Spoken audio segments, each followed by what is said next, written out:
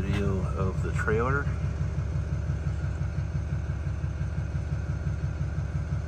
Hydraulic brakes, launching tongue that extends out. This whole thing slides into that tube to help launch sailboats. The winch post is set up for a 23 and a half footer.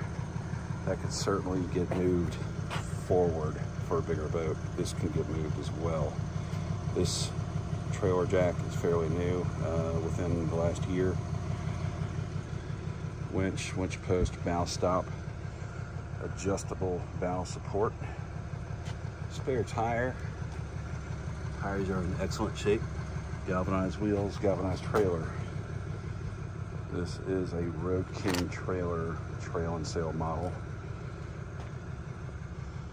These two poles here are my gin pole for raising and lowering masts. I'm going to be keeping those. It has long bunks on it with these runners. It's like an ABS plastic that uh, helps facilitate the boat loading and unloading. Also keeps that wet carpet from sitting against gel coat, which can actually blister gel coat. Keel support here. See hydraulic brake lines.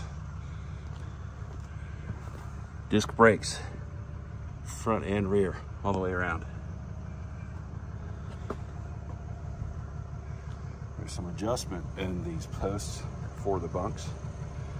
I believe that's inch and a half square tubing if that needed to be longer for a deeper keel.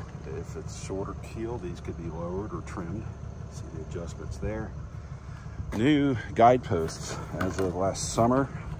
These are adjustable in and out. These were adjusted to a 23 foot sailboat. Tail light. Uh, that's new. That could get replaced. Tail light, tag. But yeah. 2005 trailer.